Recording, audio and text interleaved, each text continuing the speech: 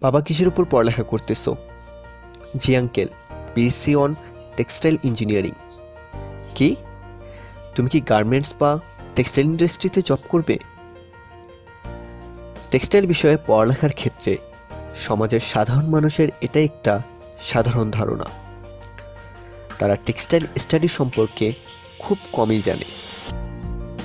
একজন টেক্সটাইল ইঞ্জিনিয়ারিংয়ের ছাত্র শুধুমাত্র টেক্সটাইল ইন্ডাস্ট্রি বা গার্মেন্টসই জব করবে না। তারা যতদূর ইচ্ছা ততদূরই যেতে পারে। সে হতে পারে একজন গবেষক, হতে পারে একজন ব্যবসায়ী, পারে একজন উদ্যোক্তা হতে। সে কাজ করতে পারে মহাকাশ কেন্দ্রেও, ঠিক যেমন NASA aerospace centre of Germany. এখানে রয়েছে আমাদের জন্য সত্যিকারের এক অনুপ্রেরণা।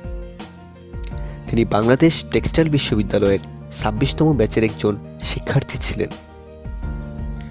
পরবর্তীতে তিনি টেক্সটাইল টেকনোলজি এর উপর এমএসসি ডিগ্রি গ্রহণ করেন টিইউ ড্রেস্টেন, জার্মান হতে। এরপর পিএইচডি গ্রহণ করেন চাইনিজ একাডেমি ফর সায়েন্সেস হতে। তিনি বর্তমানে জার্মান অ্যারোস্পেস সেন্টারে একজন ম্যাটেরিয়াল রিসার্চার হিসেবে কর্মরত রয়েছেন। টেক্সটাইল ইনসাইডার তার একটি সাক্ষাৎকার গ্রহণ করে যা খুব দ্রুতই প্রকাশিত হতে যাচ্ছে।